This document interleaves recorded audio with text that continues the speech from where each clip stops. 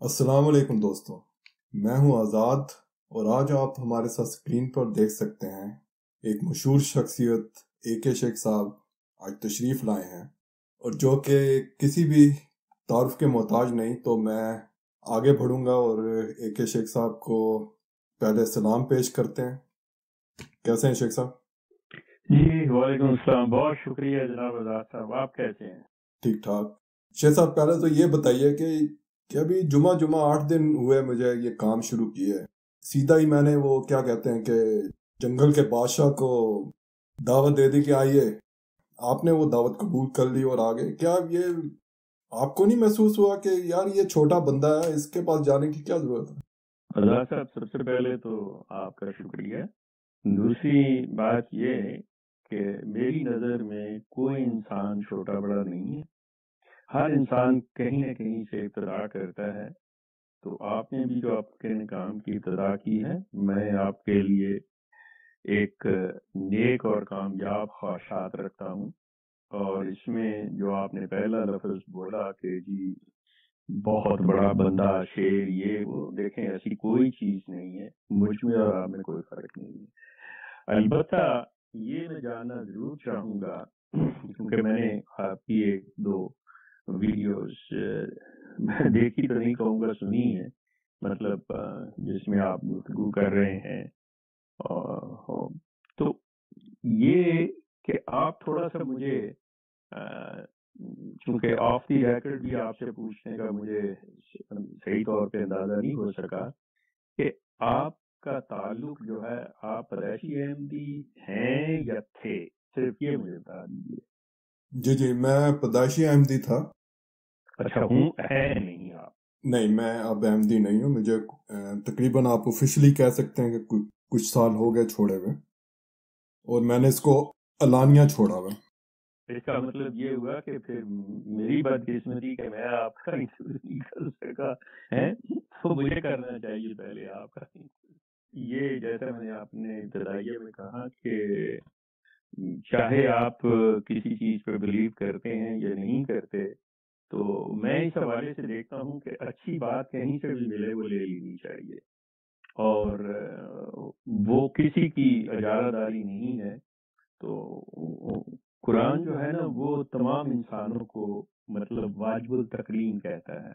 सो so, आपके हसब नसब या आपके ओहदे से मुतासर होने की बजाय बासीत इंसान अगर देखूँ तो आप मेरे जैसे हैं मैं आप जैसा हूँ। सो so, हम दोनों में कोई फ़र्क नहीं है। तो इसलिए बात होती है सिर्फ़ वक्त की, बात होती है अवेलेबिलिटी की। तो वो जैसे ही मौका मिला, मैं हाजिर हूँ। आप जो पूछना चाहें, जो बात करना चाहें, बड़ी खुशी से डिस्कस कीजिए। अब, सिर्फ़ ये चीज़ें में ज़रूर रहे कि मुझे जिनसे इख्तलाफ है, या मैं जिनको छोड़ चुका हूँ, जो कि आप भी उसी कम्युनिटी से ताल्लुक रखते थे, जैसे आपने फरमाया तो हम शाइस्तगी का इखलाक का दामन हाथ से नहीं छोड़ेंगे। अगर हमने छोड़ दिया तो हम उनके लिए कोई ऐसे अल्फाज इस्तेमाल नहीं करेंगे जो मतलब किसी बात तहजीबी और बदतमीजी के जोरे में आए। इखलाफात अपनी जगह के ऊपर। सो आपने बताया कि आप थे। बड़ी अच्छी बात है। अब मैं अगर शुरू करूँ जी, आपने मतलब क्या महसूस किया, क्यों किया? तो ये ज़्यादा होगी मैं आपको कॉल करके आपसे पूछूँगा अभी आप अपनी ही बात जो पूछना चाह रहे हैं। वो बिल्कुल ठीक शेख साहब। जी हाँ बिल्कुल आपने जो बात शुरू में की थी कि जो हमारे मजहबी इख्तलाफात होते हैं उसके बाद भी अगर हम एक शाइस्तगी का मुजाहरा करें तो इल्मी इख्तलाफात तो हो सकते हैं किसी के भी। ये मैंने जैसे अभी नोटिस किया आपने कुरान का ज़िक्र किया आप एक मैं बड़े अच्छे से जानता हूँ कि आप एक इस्लाम के फॉलोअर हैं। और मैं अपने बारे में ये बताना चाहता हूँ कि मैं बड़ा बड़ा खुलम खुला एक एथियस्ट हूँ। Okay. मैंने पहले भी देखा कि आपने बहुत सारे एथियस्ट के साथ अपने चैनल पे बात करते हैं आप मगर आप आपने कभी भी उनके साथ एक शाइस्तगी का ही आपका रवैया होता है। तो बस यही वजह से आपसे सीखने का बहुत मौका मिलता है और एथियस्ट होने के बावजूद भी तो मैं मैं खुद भी इसी चीज़ में बिलीव करता हूँ कि सीखने के लिए आप, ज़रूरी नहीं कि आपके सब जो पॉइंट ऑफ़ व्यूज़ हैं वो एक दूसरे के साथ मिलते हों। आप किसी से भी सीख सकते मतलब हर इंसान एक दूसरे से सीखता है। सिंपल अल्फाज में अगर हम कह रहे हैं आसान में, हर इंसान एक दूसरे से सीखता है। इवन हम, कायनात की ये जो जितनी भी तकलीफ़ है, जो भी कायनात है उससे भी सीखते हैं, जो दूसरी स्पीशीज है उससे भी सीखते हैं, देखते हैं ऑब्ज़र्व करते हैं ये सारा कुछ। लेकिन आपकी गुफ्तगु से मेरे जहन में एक सवाल आ गया। पता नहीं आपका तो कब आएगा सवाल, लेकिन मेरे जहन में आ गया। आप जो लफ्ज एथियस्ट इस्तेमाल करते हैं, मैं आपसे, क्योंकि वो दूसरे जो हैं चैनल्स बना के बैठे हुए और वो अपना सारा सिलसिला करते हैं, खैर, हो सकता है कि उनका कोई खास नज़रिया हो या ये उनका कारोबार हो आई हैव नो आइडिया किसी बुरे सेंस में नहीं मैं कह रहा। एथियस्ट मेरा ख्याल जो मैं समझता हूँ जितने लोग बात करते हैं वो अपने आप को इसलिए कहते हैं वो कहते हैं कि हम किसी मज़हब को फॉलो नहीं करते या हम जो एक क्रिएटर को मुख्तलिफ़ नाम दे दिए गए हैं कि अल्लाह है, भगवान है मतलब मनोयजदा है, ये वो कोई भी निरंकार है सिखों की ज़ुबान में। तो उनको ना मानने वाला या किसी रिचुअल्स पे अमल ना करने वाला जो है, वो एथियस्ट है। वो किसी के साथ एसोसिएट नहीं है। आजकल की दुनिया में ईसाइत हो, यहूदियत हो, इस्लाम हो, अहमदियत हो सिख हो तो वो एथियस्ट एम आई राइट बिल्कुल, शेख साहब। मेरे ख्याल में बिल्कुल ठीक है ऐसे ही है। आ, लेकिन मैं समझता हूँ कि जो एथियस्ट है वो कहता है लेकिन वो भी क्रिएटर को ज़रूर मानता है। कि कोई है लेकिन वो कौन है वो हमें नहीं पता। तो ये जो मज़ाक वाले लोग हैं इन्होंने नाम दे दिया। इन्होंने उसका एक तस्वर कायम कर लिया। बाजों ने तस्वीरें बना ली बाजों ने उनके बुत बना लिए बाजों ने जैसे इस्लाम है मुसलमानों ने वो कहते हैं कि हम इसको कोई तस्वीर नहीं दे सकते, कोई इसका खाका नहीं बना सकते। बिल्कुल ठीक है। बुनियादी तौर पे जो कदर मुश्तरक है हमारे अंदर, वो है कि हम इंसान हैं, हम एक दूसरे की।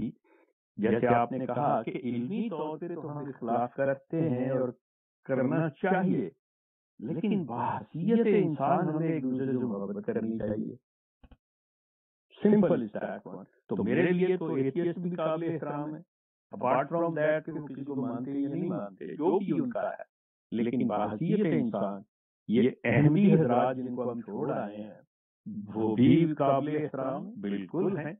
ईसाई हो यहूदी हो सिख हो हिंदू हो कोई जिसे दुनिया जो है वो निचले तबके का भी इंसान ये मेरे नज़दीक काबिल साहब मैंने कुछ सवालों को तरतीब दिया था मगर आपकी बातें सुनने के बाद तो सवाल नए से नए पैदा होते जा रहे हैं।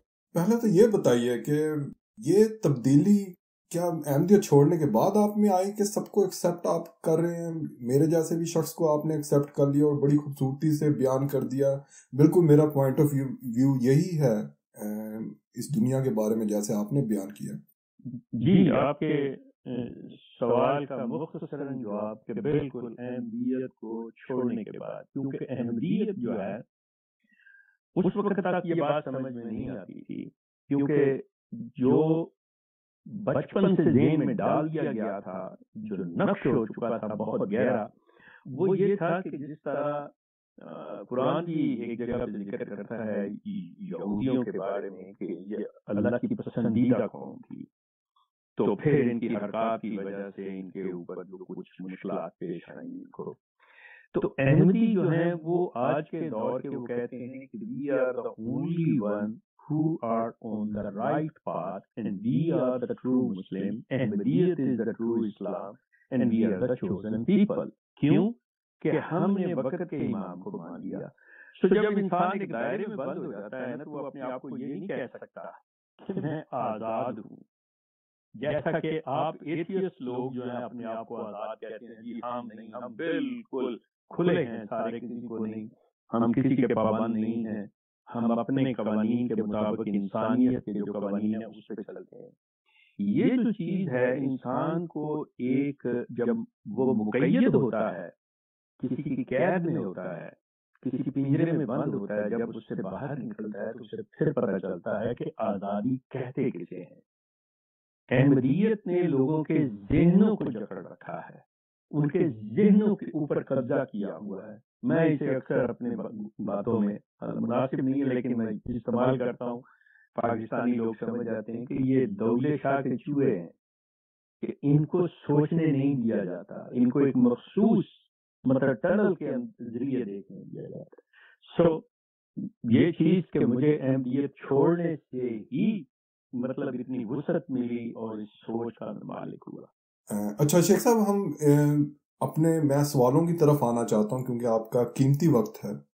मैं समझता हूँ मेरी खुशकिस्मती है ये मौका मिला तो उसको फ़ायदा उठाते हुए मैं अपने जो सवाल मेरे जहन में कुछ हैं, जो कि इल्मी सवाल आते हैं, आपके, आपका मैं उस पर मौकफ जानना चाहूँगा, उस पर आपका इख्तलाफ भी हो सकता है, क्योंकि मेरा एक इल्म जो है, क्योंकि मैंने अहमदियत छोड़ने के बाद अपना तालीम का सिलसिला शुरू किया एक लिहाज से। तो मैं ये समझता हूँ कि मैं किसी की मदद के बगैर आगे मेरे लिए चलना मुश्किल है। और मुझे ऐसा लगता है कि आपका इल्म और उसमें मुझे काफ़ी मदद कर सकता है। तो मेरा एक सवाल ये पैदा होता है कि मिर्ज़ा गुलाम अहमद कादियानी साहब की तो उनके जो अमाम मेहदी होने का जो दावा था तो उसमें उन्होंने एक अलामत बताई थी क्योंकि उनको दो बीमारियाँ हैं, एक निचले हिस्से में और एक ऊपर के हिस्से में। मेरा जो क्वेश्चन है वो ऊपर वाले हिस्से पे है।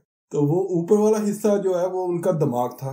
क्या ऐसे ही है जो मैंने ये बात, क्योंकि मैं सुनी हुई है, क्योंकि किताबों से मेरा कभी ज़िंदगी में इतना पाला पड़ा नहीं। मैं ज़्यादा जो चीज़ें हैं वो क्रॉस क्वेश्चनिंग करके ही समझ पाता हूँ। सबसे पहली चीज़ मैं ये अर्ज़ कर दूँ कि ये बड़ी मजहबी दुनिया के अंदर ना बहुत से ऐसे अकायद और तस्वुरात पाए जाते हैं। हर मज़हब की बात कर रहा हूँ मैं। जो कि उनके असल स्क्रिप्ट जिसको वो रिवील्ड या अल्लाह की तरफ़ से या भगवान, खुदा की तरफ़ से वो समझते हैं कि रिवील्ड है, उनमें उनका ज़िक्र नहीं होता। लेकिन ये इंसान ने सेल्फ फैब्रिकेटेड जो है तस्वुरात रखे हुए हैं। उनमें से एक मुसलमानों के अंदर ये इमाम महदी का तस्वर भी है। मतलब इसका कुरान में कोई ज़िक्र नहीं है, पहली ये चीज़ समझ सो मैं इसको नाम देता होता हूँ, नॉन कुरानिक कॉन्सेप्ट। तो इसी हवाले से मैं कहता हूँ कि मिर्ज़ा साहब का जो ये दावा है, ये गैर कुरानी है। उनका क्लेम जो है। लेकिन मुसलमानों के अंदर पाया जाता है, चूँकि मैंने कहा कि इस ह्यूमन कॉन्सेप्ट के इंसान ने इस तस्वर को पैदा किया है। कुरान में इसका ज़िक्र नहीं। तो मिर्ज़ा साहब ने उन चीज़ों को मद्देनजर रखा और वो जो चीज़ें हैं, वो उनको तारीख से, रवायात से, अहादीस से वो चीज़ें मिली। अब बड़ी मज़े की बात यह है मिर्ज़ा साहब की आपने जो ऊपर वाले हिस्से की बात की, क्या खूबसूरती से उन्होंने उस पे लगाया और वो इतने बादशाह किस्म के इंसान थे वो शख्स जो था कि उसने ये भी नहीं सोचा ये भी नहीं देखा गौर किया कि मैं जो कोट करने लगा हूँ या अपने दावे के हक में जो मैं बात करने लगा हूँ ये किस दिमन में बात हुई है ये किस हवाले से बात की जा रही है? वो कहते हैं कि हदीस है कि जब हज़रत ईसा इस दुनिया में नाजिल होंगे तो वो दो जर्द चादरों में, एक ऊपर के धड़ की और एक नीचे की, जैसे कि अगर आपको इतफाक हुआ हो या आपके देखने सुनने वालों को, जैसे एहराम की दो चादरें हैं, उमरा और हज के दरमियान, इसी तरह की दो जर चादरें। अच्छा अब यहाँ पे मिर्ज़ा साहब जो पेंतरा बदल रहे हैं या जो अपना स्टैंड ले रहे हैं, वो ये है कि जी ख्वाब में अगर इंसान को जर्द रंग नज़र आए या जर्द को चीज़ मिले तो वो बीमारी होती है।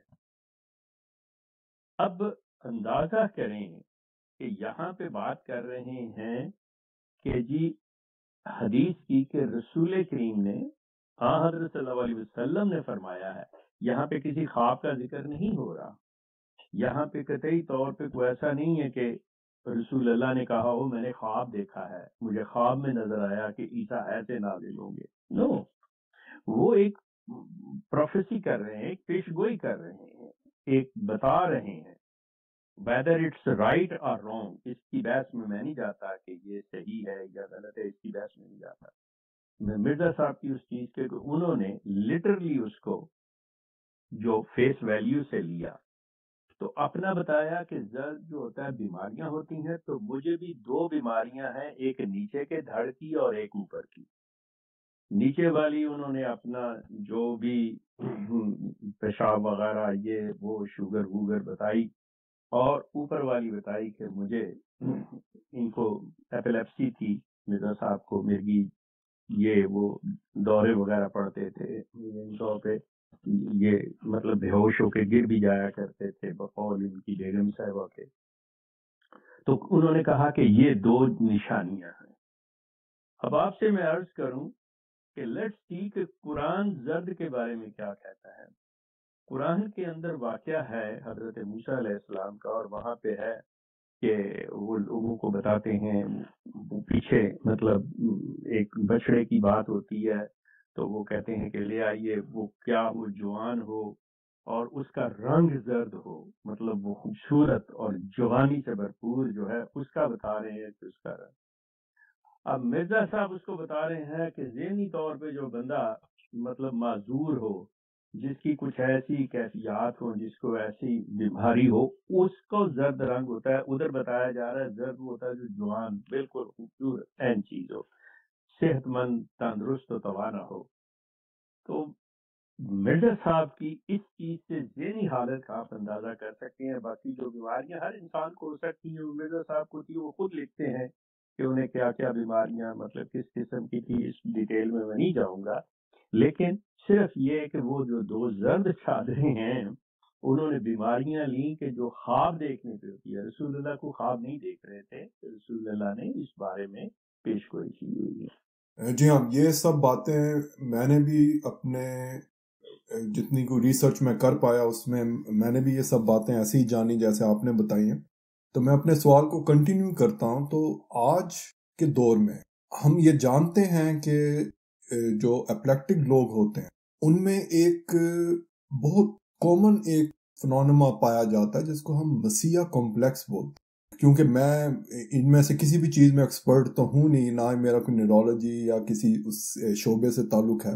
तो मैं तो एक स्टूडेंट के लिहाज से कुछ सवाल रखूँगा आपके सामने और आपसे तो सिर्फ़ मैं यही जानना चाहूँगा कि जो उनके सिम्टम्स थे, जो उनकी किताबों में उन्होंने बयान किए, और आज हम यानी कि डेढ़ सौ साल या एक सौ तीस, चालीस साल गुजरने के बाद आज हमारी साइंस इतनी तरक्की कर चुकी है कि वो हमें ये सब बताती है कि अप्रैक्टिक लोगों में जिसको हम मिर्गी अपनी जबान में कहते हैं उन लोगों में ये वाले जो हलूसिएशंस होना डिलूजन्स ये सब चीज़ें जो हैं ये बहुत कॉमन है और बहुत कॉमन क्या मेजोरिटी में इनमें से कोई ना कोई सिम्टम्स पाए जाते हैं। मेजर सिम्टम्स में से ये चीज़ आती है। जी। जी हाँ। और जो जो जिस तरीके से मैंने उनका एक सफ़र देखा है ज़िंदगी का क्योंकि वो एक इस्लाम का दिफा करने वाले इंसान थे उन्होंने अपनी सारी ज़िंदगी अपने ये जो दावा उन्होंने किए थे मैदी होने के और बाकी जो उनके दावा थे और वो अपने इलाके में एक मानी जानी शख्सियत थे इसी लिहाज से कि उन्हें माना जाता था कि ये इस्लाम के एक अच्छे डिफेंडेंट हैं हम्म, हम्म।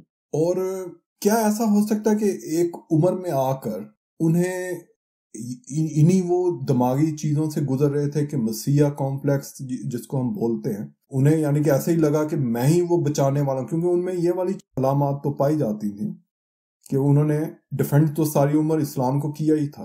बात जो आप कहना चाह रहे हैं ना, वो काफ़ी तफसील तरफ़ है और इसके खासा लंबा इसका मतलब जवाब बनता है। लेकिन मैं कोशिश करूँगा कि इसको मैं जितना भी से रख सकूँ, क्योंकि सिलसिला ये है कि जो आप एक पहलू खोल रहे हैं उनका as a defender of Islam क्योंकि वो मुसलमान घराने में पैदा हुए थे, मिर्ज़ा साहब। ऑब्वियसली कोई काम काज वो नहीं करते थे। उनका रुझान जो था, वो दीनी तालीम मतलब दीन की तरफ़ था। तो उसमें दूसरी एक चीज़ जो उनको मैसर थी, दूसरों की नस्बत, वो ये कि उनका खानदान जो था, वो अंग्रेज़ का पूरी तरह वफादार और बाकायदा तौर पे उनके यहाँ उनको बाकायदा मतलब जो भी उनकी खिदमात के एवज में कुछ मराहत हासिल थी। और दूसरी तरफ़ उनके जो बड़े साहबजादे, मिर्ज़ा सुल्तान अहमद साहब थे वो मतलब सिविल सर्विस के एक आला अफसर थे, सरकार बरतानिया में, खान बहादुर का उनको खिताब मिला हुआ था। तो उस वजह से इनको एक ये आसानी हासिल थी कि इनको पढ़ने का, किताबें मिलने का बड़ा आसान इनके लिए था किताबों को हासिल करना। मिर्ज़ा साहब वो पढ़ते चले गए हैं, वो चीज़ें जो आम उस वक्त के मौलवी को मुयसर नहीं थी, मिर्ज़ा साहब को मुयसर थी ये चीज़ें। तो उस वजह से उनका ये जो इस्लामिक इलम है, ये काफ़ी एनहेंस हुआ। उस वजह से वो लोगों के अंदर जाने, पहचाने जाते रहे कि ये शख्स बहुत कुछ जानता है। आज आप ले लें, आपके ये सोशल मीडिया के ऊपर जो मोटिवेशनल स्पीकर्स हैं या दूसरे, तीसरे जो बात स्पेशलिस्ट बैठे, तजिया निगार, ये वो ज़्यादा जानते, पढ़े, लिखे हैं। उनको और जो आम हमारे बेचारे मौलवी हैं उनके तो फ़र्क आपको साफ़ मिल जाएगा। तो मिर्ज़ा साहब शुरू में थे। अब जैसे जैसे इंसान के अंदर वो चीज़ आती है, वो तजस करता है, वो अपने अंदर उसकी तशरी करता है। अब इनकी खुशकिस्मती ये कि इसके साथ ही उन्हें हकीम नूरदीन का साथ मुयसर आ गया और वो मिल गए। अब ये दोनों जब मिले हैं तो मज़े की बात यह है कि इन्होंने अहादीस की तशरी करनी शुरू कर दी। कि भाई ये क्या है, वो क्या है, इस तरह है, ये चीज़ ऐसे है, वैसे है। उससे करते करते जेन के अंदर इंसान के ये चीज़ आती है और फिर खास तौर के ऊपर जब आप थोड़ा सा भी तसवुफ की लाइन में चले जाएँ सूफीज़म की तरफ़ चले जाएँ, वो चिल्ले विल्ले मिर्ज़ा साहब बकायदा तौर पे इन्होंने चिल्ले किए हुए हैं वो चला लुधियाना के बाद उन्होंने बैत भी ली है। मतलब बंद रहे जी, मुझे कोई ना आए, मुझे बुलाए ना, मुझे रोटी बाहर ही रख देना। ये सारे काम इवन कब्रों पे बैठ के इन्होंने चिल्ले किए हुए हैं। तो जब इंसान की दिमागी ये हालत हो तो उसके अंदर इस किस्म के ख्याल आ जाना कि मैं वो ही, मैं वैसा ही हूँ, वो अलूजन और डिल्यूजन जो है, वो सारा कुछ इनके यहाँ बाकायदा मिलता है और उसी के नतीजे में फिर जब आप इनके दावाजात के ऊपर देखते हैं कि किस तरह से मतलब उन पे चलते हैं, उनको छोड़ते हैं, उनकी नफी करते हैं, फिर दोबारा वही कह देते हैं।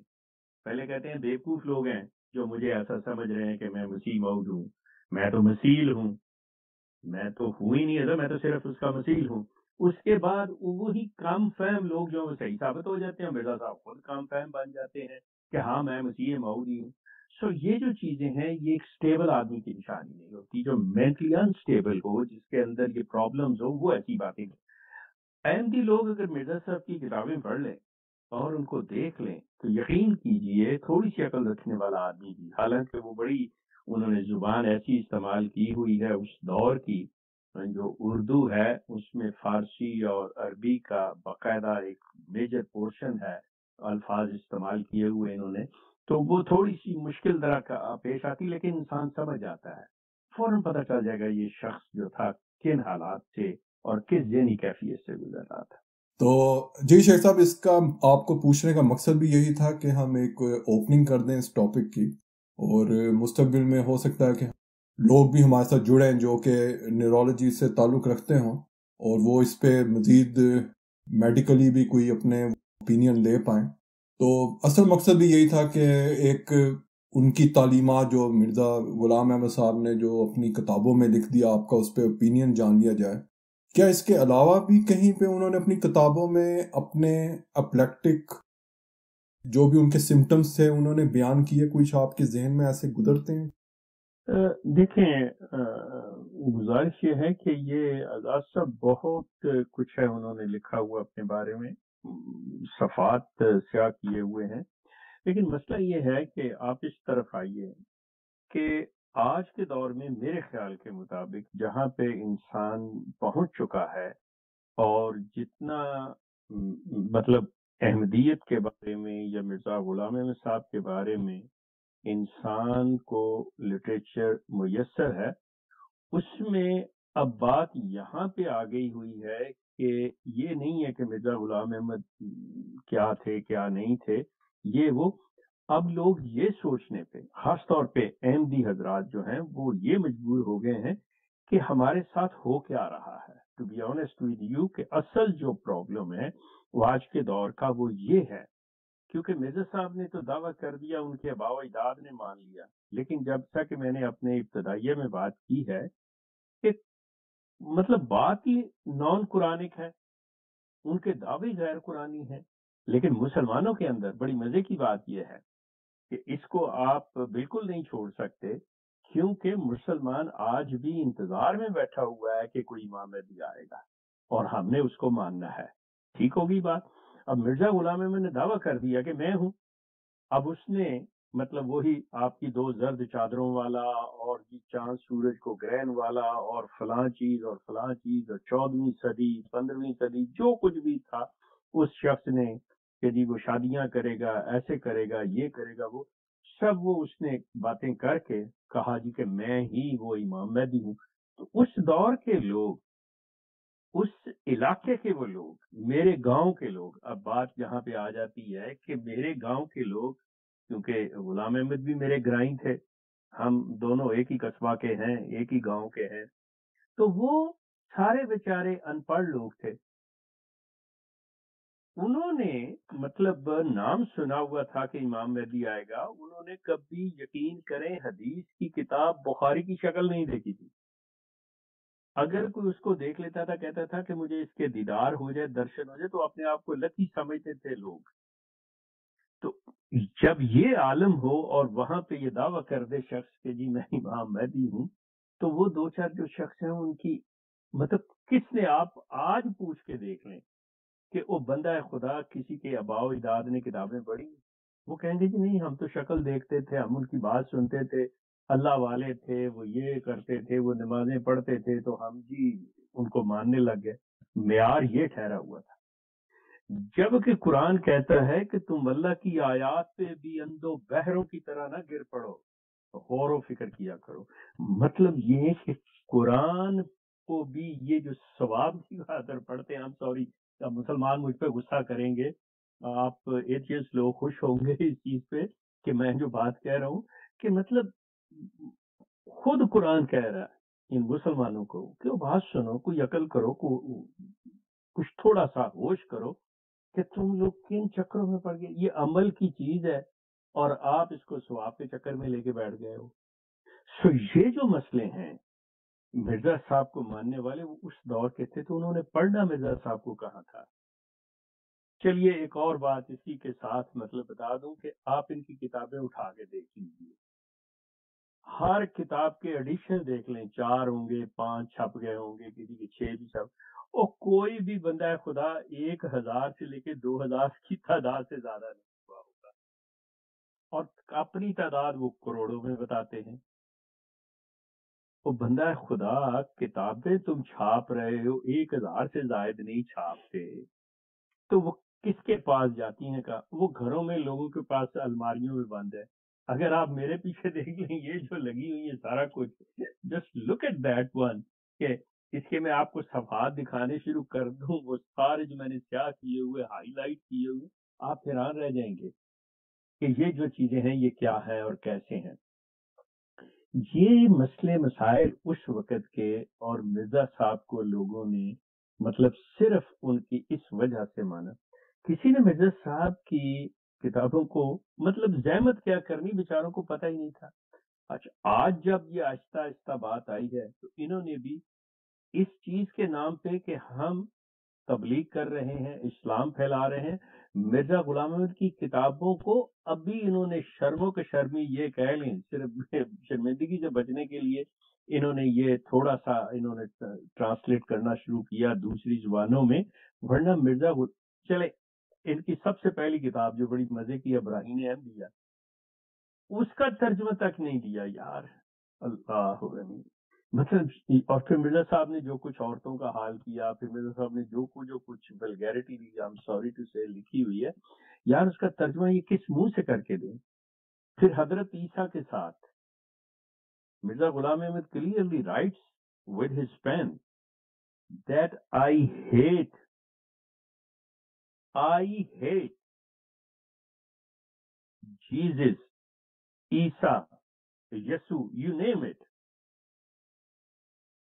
The whole Muslim community have no such hatred. What I myself only have the hatred for Jesus.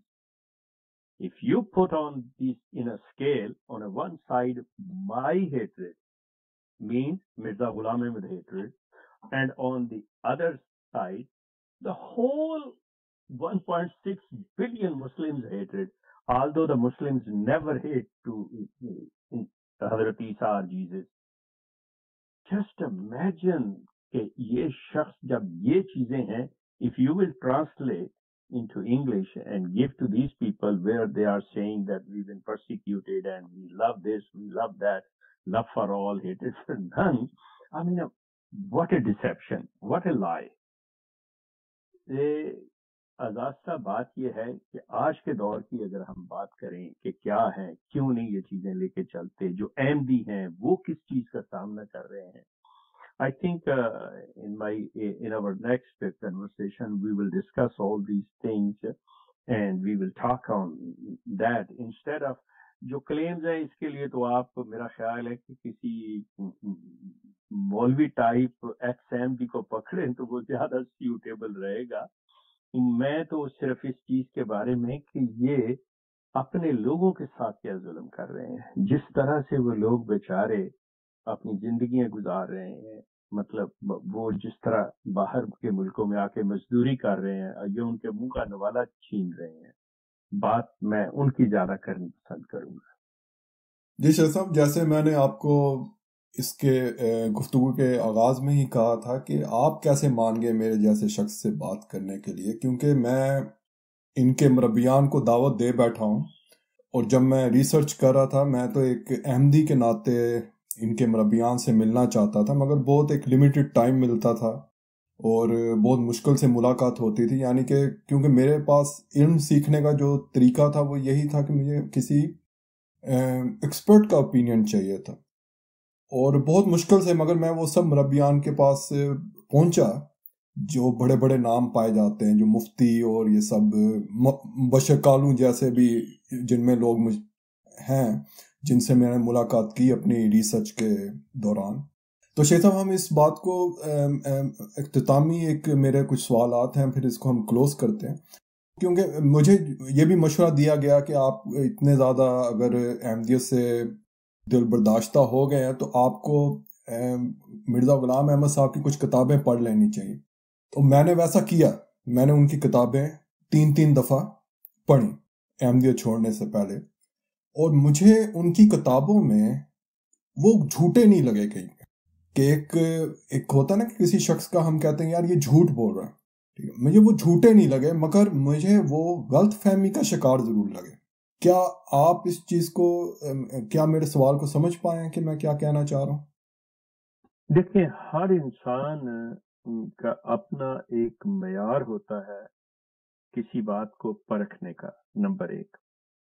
एक जो हम झूठ कहते हैं, वो मतलब एक यूनिवर्सल ट्रूथ है कि भाई सूरज मशरक से निकलता है। अब एक शख्स कहे, जी, मशरक से नहीं निकलता तो वो झूठ हो जाएगा। एक शख्स जो अपनी किताबों के अंदर चीज़ें लिख रहा है, कि मिसाल के तौर पे वो भी कहता है, चोरी ना करो। तो ऑब्वियसली वो झूठ नहीं लिख रहा, हम उसे झूठा ये कहें कि ये क्राइटेरिया बना लें कि, जी, ये म्यार है उसके सच्चे होने का। तो भाई दुनिया का हर बंदा कहता है, झूठ नहीं बोलना चाहिए। तो इस बंदे का मतलब एक कॉमन चीज़ है। अब देखने वाली बात यह है कि वो शख्स जो किसी की तहरीर को, किसी की बात को अपने नाम से, अपनी कह के दे रहा है आपको। बात तो बड़ी खूबसूरत उसे लगी, उसने दे दी, उसने कहा, जी मेरी।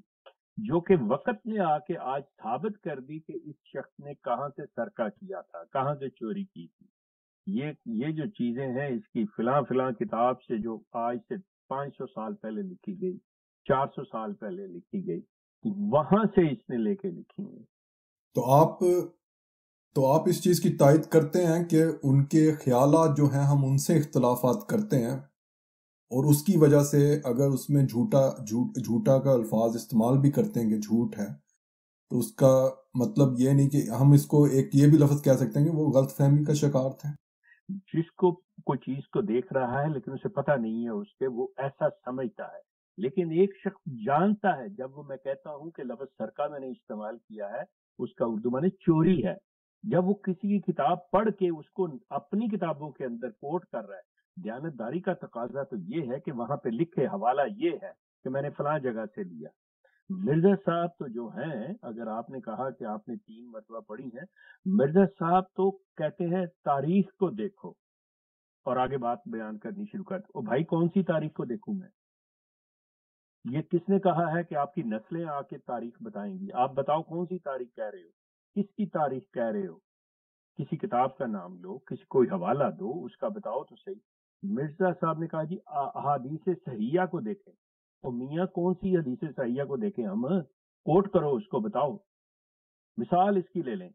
इसको आप कहाँ गलतफहमी कहेंगे कि मिर्ज़ा साहब कहते हैं कि चौदहवीं सदी किसी दुनिया की हदीस में मतलब आप कोई किताब उठा के देख लें, चौदहवीं सदी का नाम नहीं है। मिर्ज़ा साहब हदीसों के ऊपर लगा रहे हैं बात रसूल करीम पे चली गई। तो ये जो चीज़ें हैं, यहाँ पे आके सारा कुछ पता चलता है कि क्या है, क्या नहीं। बात फिर वही आ गई कि इमाम मेहदी का तस्वर जो है, ये कहीं पे भी अच्छा दूसरी चीज़ ले लें। सर सैयद बेचारा, आप अंदाज़ा करें, सर सैयद ने ये चीज़ दी कि हज़रत ईसा फौत हो गए हुए मिर्ज़ा साहब ने उसकी बात को पकड़ लिया। और आज ये चल रहा है कि जी ये कारनामा मिर्ज़ा साहब का है कि मिर्ज़ा साहब हैं जिन्होंने ये कहा कि हज़रत ईसा फौत हो गए, बाकी दुनिया ये कह रही, वो मियाँ मिर्ज़ा साहब से पहले थर सैयद कह गए हुए हैं। इस शख्स ने वहाँ से, चलो मैं कहता हूँ चोरी नहीं की, उनसे उधार ले लिया, मुस्तार ले ली ये बात।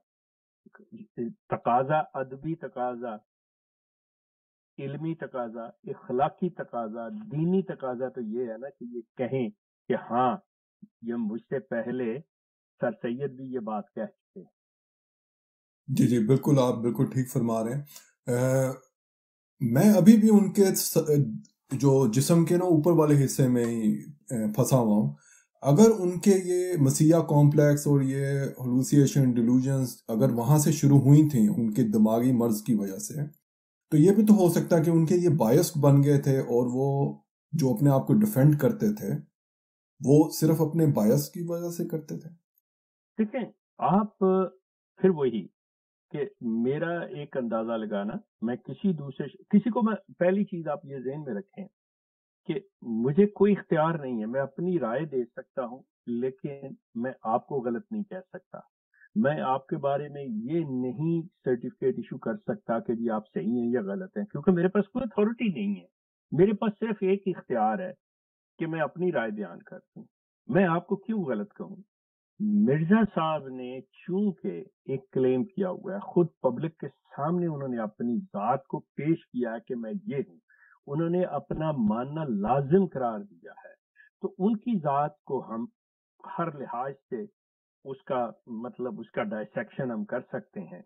लेकिन उनके किसी दूसरे का, तीसरे का या उनके खानदान का, उनके बेटे बेटी का हम नहीं कुछ भी उस पर आवाज़ उठा सकते या कोई बात कर सकते हतमी तौर पे। लेकिन मिर्ज़ा सब के बारे में हम सही गलत अपनी जात की हद तक बिल्कुल कह सकते हैं। दूसरी बात है, आप उनको क्या ले रहे हैं, सही ले रहे हैं? मैं आपको कैसे कहूँ, नहीं जी आप गलत हैं। No it's your decision and you are free to do that one I may disagree with you but I cannot not you that you are आर तो चलिए हम कंक्लूजन पे आते हैं। तो कंक्लूजन के मुताबिक क्योंकि आपने उनकी कुतब का ज़्यादा मुताला किया है तो आप उनको दिमागी मरीज़ होने के वर्सेस झूठा ज़्यादा तस्वर करेंगे। देखें आपने बड़े अजीब तरीके से मुझे ट्रैप करना चाह रहे हैं। मैं मतलब उनको क्योंकि मैंने आपको बताया है कि वो दावा किया था उन्होंने। मैं बिल्कुल उनको इस चीज़ का बेनिफिट ऑफ़ द डाउट देता उनको कि जी, उनका दिमागी सूरत हाल ये वो जो कि मैं कहता हूँ कि जिनी मरीज़ वो हैं, थे। मतलब सिर्फ़ उसी पे रहता। लेकिन चूँकि उन्होंने दावा किया, उन्होंने अपने आप को पेश किया कि जो मुझे नहीं मानता, उन्होंने मेरे पे भी एक चीज़ बात डाल दी। मतलब मेरे से मुराद के जो उन्हें नहीं मानते, उनको भी उन्होंने कह दिया। तो उस बंदे को फिर हक पहुँचता है कि वो भी उसके बारे में वो चीज़ कह दे। तो मैं इस जिमन में उनको वही चीज़ उनके लुटाता हूँ कि, मियाँ, तुम मुझे कह रहे हो कि मैं मुजरिम हूँ, तुम्हें ना मान के तो मेरे नज़दीक तो तुम बताते खुद चोर हो। तो मैं तुम्हें क्यों मानू भाई? मैं तुम्हें कैसे कहूँ कि तुम सादे कमीन हो? तुम तो खुद चोर हो मेरे नज़दीक। सो, इस हवाले से मैं उन्हें ये नहीं कह सकता कि भाई ये ऐसे में बिल्कुल उन्हें ये कहूँगा कि ये शख्स जान बूझ के झूठ बोल रहा है, इसने खुद ये दावे किए हैं, अल्लाह की कस्में खाई हैं। अगर ये चीज़ें ना होती तो ठीक है, कोई ऐसी बात थी, दावा ना होता, बात ऐसे कर रहा होता तो मैं उनको ये कह देता कि ठीक है, उनकी जेनी बीमारी की वजह से ऐसे कह रहे चलिए, बहुत शुक्रिया शेख साहब आपका। आपने बहुत खूबसूरती से हर चीज़ पे रोशनी डाली। अभी तक के जो मेरे सवाल थे, सब कंप्लीट हो गए। मैं और भी इस पे थोड़ी रिसर्च करूँगा, इसको जानूँगा और आपकी भी जो मौकफ आया, उस पर भी तवज्जो दूँगा। और अगर कभी भी वक्त मिल पाया आपसे दोबारा मुलाकात का तो दोबारा आपसे बातचीत करने की कोशिश करूँगा मैं। डिस्क्रिप्शन में हम ए के शेख साहब का पर्सनल चैनल डाल देंगे। दोस्त उसको भी विज़िट करें, देखें। जी, आज़ाद साहब, बहुत शुक्रिया आपका। Most definitely we will talk next time.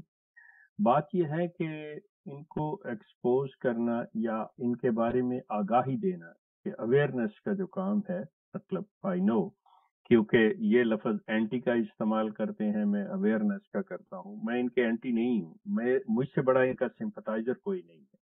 मैं अवेयरनेस का कर रहा हूँ कि लोग जो हैं एम दी क्योंकि मेरी फैमिली मेरे दोस्त अहबाब, हम लोग पैदा इनमें हुए तो सारे असल तो वही था ना हमारा।